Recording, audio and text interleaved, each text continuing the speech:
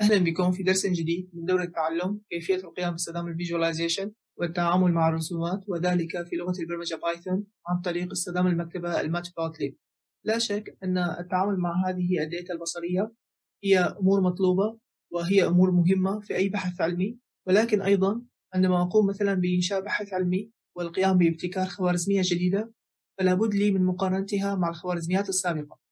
لذلك يجب علينا هنا أيضا الاهتمام برسم ال errors ورسم التباين والاختلاف ومدى الانحراف عن ال data الأساسية لمعرفة مدى جدوى ومدى كفاءة هذه الخوارزمية الجديدة مقارنة مع الخوارزميات السابقة.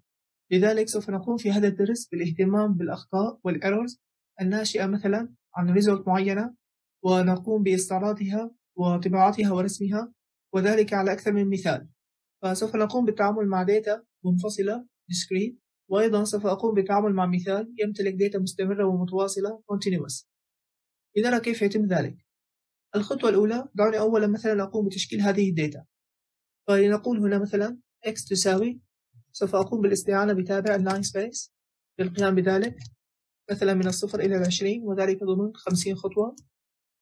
ومن ثم سوف نقوم بإنشاء ال y بالاعتماد على ال x مثلا لتكون مساوية لتابع معين. sine ولكن سوف أقوم بإضافة بعض التعديلات وذلك لجعلها لا تنتمي إلى تابع رياضي معين. فنقول مثلا قم بضربها وذلك باستخدام ال random بقيمة معينة. ودعوني مثلا أقوم بإضافة انحراف معين dy فليكن مثلا مساويا لقيمة معينة 0.5 وأقوم بإضافته إلى هذه ال random فنقوم بجمعها في المحصلة إلى هذا التابع. طبعا هذه يجب أن تكون 50 قيمة لكي توافق العدد هنا. تمام. إذا نراها بهذا الشكل. إذا قلنا باستعراض ال x وإذا قلنا باستعراض ال y وإذا أردنا القيام بالطباعة مثلا بشكل مباشر فنقول plot على ال x وال y نراها بهذا الشكل. ولكن هنا هذه ال data سوف أقوم أيضا باستعراضها أخذا بعين الاعتبار هذا الانحراف والذي هو ال dy لذلك سوف أقوم هنا بالرسم بالاعتماد على تابع يسمى ال error bar على ال x وعلى ال y يقوم برسمها. ومن ثم نقول هنا اعتمادا على ال y error أقوم مثلا برسم ال dy نراها بهذا الشكل. نرى هنا إذا قمنا بالتكبير كيف يقوم برسم هذه التباينات نسبة إلى هذه النقاط. وإذا أردنا مثلا بفصلها فنقول هنا قم بإنشاء format وذلك كنقاط. هذه هي النقاط الأساسية. أما بالنسبة لهذه الانحرافات فهي نسبة إلى هذه ال dy دعوني مثلا أقوم بجعلها ملونة بلون مغاير. فسوف أقوم بجعل هذه النقاط ملونة باللون الأسود okay؟ وبالنسبة للون هذه الانحرافات فسوف أقوم بجعلها مثلا error color مساوي اللون مثلا gray فنراها بهذا الشكل. وكلما قمنا مثلا بتخفيض قيمة الانحراف كلما أصبحنا قريبين من النقطة الأساسية. وبهذا الشكل. فسوف أكون منطبقا بشكل مباشر على هذه النقاط. وإذا قلنا مثلا تسعة نراها بهذا المظهر. وهكذا. وأيضا نستطيع هنا القيام بإضافة بعض الإعدادات. مثلا إذا أردنا القيام بتحديدها وذلك نسبة إلى ال upper bound وال lower bound الحدود الدنيا والقصوى. فهنا سوف أقوم باستخدام ال cap ال size الخاص به مثلا 0.5 فنرى هنا كيف قام بإنشاء هذه الحدود وهذه ال caps إذا قلنا مثلا 1.5 نراها بهذا الشكل. مثلا ثلاثة تمام؟ وهكذا. وهذه من ال methods الشهيرة والمعتمدة في كثير من الأبحاث العلمية. وإذا قلنا مثلا قم هنا بزيادة الأحجام الخاصة بهذه ال bars وقلنا error line width وقلنا مساوي مثلا إلى ثلاثة. فنراها بهذا الشكل. وكلما قلنا بالتكبير نرى هنا الاختلافات. وأيضا في واقع الأمر التعامل هنا مع ال error ليس فقط على المحاور الشاقولية ولكن أيضا إذا كانت مثلا التجربة المعينة التي أقوم بها التعامل مع data أفقية وأستطيع القيام برسمها والتعبير عنها نسبة إلى هذه المعلومات.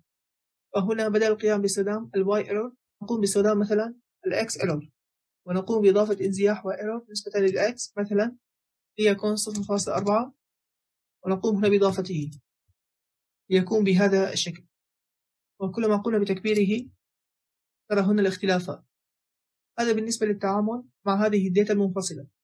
أما لو كانت لدينا مثلا data متصلة وسوف أقوم هنا بما يسمى regression أي تتبع هذه ال data التعامل هنا سوف يكون أكثر تعقيدا إلى حد ما. دعوني أولا أقوم بالخطوة الأولى والتي هي إنشاء هذه ال data. سوف أقوم بذلك نسبة إلى تابع رياضي مختص في البايثون عن طريق أعتقد الأسكيلر في تابع الجاوسيان فنقول هنا مثلا from sklearn وهنا Gaussian process قم هنا بالimport وذلك على Gaussian process regressor. دعوني أتأكد ربما هذه بهذا الشكل. تمام. قام بتوليدها ولا يوجد مشاكل. الخطوة التالية دعني أقوم هنا مثلا بتعريف function. وذلك نسبة إلى طريقة حديثة ومباشرة في البايثون مثلا عن طريق اللامدا. فنقول هنا قم هنا بإنشاء function معين والذي يساوي لامدا وهنا نقوم مثلا بذكر الإدخالات والتي هي مثلا x. ومن ثم جسم التابع سوف يكون مساوي إلى x ضرب قيمة معينة لتكون مثلا cosine ال x بهذا الشكل. فهنا إذا أردنا القيام باستخدامها فقلنا function. فنعلم أن cosine الصفر يساوي الواحد وضربه بصفر يساوي صفر. بهذا الشكل. أما إذا قلنا واحد فهنا cosine الواحد هي قريب للنصف وضربها بواحد هي أيضا قريبة للنصف. بهذا الشكل. إذا بعدها سوف نقوم هنا بتوليد هذه ال data. نقول x test وسوف نقوم بالاعتماد على بنية ال array للاستخدام وفي التغليف. ونقول مساوية لقيم معينة لتكون واحد أربعة ثمانية اثنا عشر سبعة عشر مثلا. ومن ثم سوف نقوم بتوليد ال y test وذلك نسبة إلى هذا التابع. نقوم هنا بإدخال ال x test. فهنا إذا قمنا بإدخالها في هذا الشكل فسوف يقوم بحسابها نسبة إلى جميع هذه البارامترات. لنرى نرى هنا كيف قام بتوليد هذه القيم. جيد. بعدها سوف نقوم بالتعامل مع ال Gaussian regressor فنقول هنا مثلا قم بإنشاء متحول Gaussian regressor وذلك من هذا التابع. يعني نقول بنسخه بسرعة بهذا الشكل ومن ثم سوف نقول هنا عند هذا ال Gaussian قم هنا بال fit ولكن هنا لإدخالها أعتقد يجب علينا القيام بالتعامل مع نمط معين وإدخال خاص. إذا قمنا بإدخالها بهذا الشكل فسوف تتولد مشكلة وذلك نسبة إلى نمط ال data. لذلك هنا أعتقد إذا قمنا بجلب هذه ال data هنا وقمنا باستعراضها فيجب علينا القيام بتمريرها كل عنصر على حدة كمصفوفة وذلك باستخدام هذا النمط. أعتقد بهذا الشكل. تمام؟ فنقوم بنسخها ونقوم بوضعها في هذا المكان. فتمت المعالجة دون أي مشاكل. وبعدها دعوني أقوم بتوليد data مستمرة وذلك نسبة لل x وال y. فنقول هنا بداية قم بتوليد linspace من الصفر إلى العشرين وذلك بخطوات صغيرة جدا. لتكون مثلا ألف خطوة. بعدها بالنسبة لل y samples وأيضا مثلا قيمة انحراف معينة value. سوف نقوم بجلبها من هذا ال Gaussian model ونقول predict وذلك نسبة إلى هذه ال samples طبعا نقوم بإدخالها بنفس الطريقة. وهنا سوف أقوم بتفعيل خيار الرد وذلك للحصول على هذه ال value فنقول هنا return std يساوي true. لنرى فهنا إذا قمنا بجلب هذه ال value نراها بهذا الشكل. تمام؟ وكذلك بالنسبة لل y samples ممتاز. دعونا نقوم مثلا بالرسم فهنا الخطوة الأولى من أجل القيام بتحديد الانحراف والانزياح سوف نقوم بتعيين ال dy samples والتي تساوي مثلا هذه ال value ولكن سوف أقوم بضربها بقيمة معينة لتكون اثنان. سوف نقوم هنا بالرسم فسوف نقول مثلا plot نسبة لهذه ال x test وال y لنرى فنرى هذه ال data مبدئيا بهذا الشكل. طبعا هذه ال data هي سوف تكون مقطعة ولكن سوف تأخذ بعين الاعتبار هذه ال samples المستمرة. لنرى كيف يتم ذلك. فهنا سوف أقوم بالتأكيد عليها أنها مقطعة بهذا الشكل. نقاط. يعني أقوم بتلوينها مثلا باللون الأسود. ومن ثم إذا أردنا القيام برسم هذه وذلك نسبة إلى هذه ال sample طبعا هذه plt نراها بهذا الشكل. تمام. فنرى هنا كيف أن هذه النقاط موجودة على هذه ال data المستمرة. ولكن فعليا ما أحتاج للقيام برسمه هو مقدار الانزياح والتي هي dy samples نسبة إلى هذه المعلومات الأساسية. للقيام بذلك سوف أقوم بالاستعانة بتابع يسمى fill between. والذي من خلاله أستطيع القيام بتحديد هذه الانزياحات والانحرافات وذلك نسبة إلى ال upper bound وال lower bound الخاص بال y إلى الحد الأدنى والحد الأعلى من هذه ال y. فهنا سوف نقول x samples وأيضا y samples لنرى. فنرى هنا كيف قام برسم هذه المناطق الموجودة والمحصورة ضمن هذه المعطيات. ولكن فعليا أريد القيام برسمها وذلك بجعل هذه النقاط متوسطة لهذه المناطق. وإذا أردنا معرفة المزيد عن هذا التابع هنا نستطيع القيام بالاستعلام عنه بهذا الشكل. فنرى هنا كيف لدينا ال y1 الحد الأعلى وال y2 الحد الأدنى.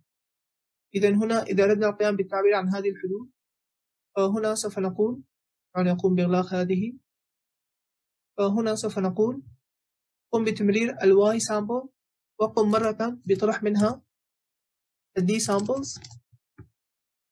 بهذا الشكل وقم في المرة الثانية بإضافة إليها dy sample.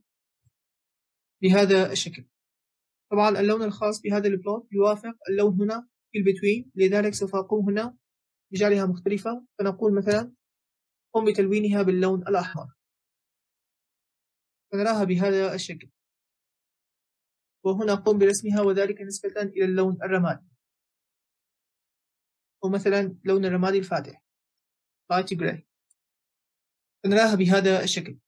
نرى هنا المعلومات الأساسية الأصلية باللون الأحمر والنقاط المحورية عليها الأساسية ومن ثم بالاستعانة بهذه النقاط وبهذه ال data المستمرة قمنا هنا برؤية هذه الانحرافات وذلك نسبة إلى ال dy sample التي تمثل الحدود العليا والدنيا. وإذا قمنا مثلا بتكبير هذه القيمة ترى هنا كيف أن هذه المسافات وهذه المناطق سوف تكبر. بهذا الشكل. وكلما قمنا بتقليلها مثلا واحد فاصلة ثلاثة نراها قريبة من المركز.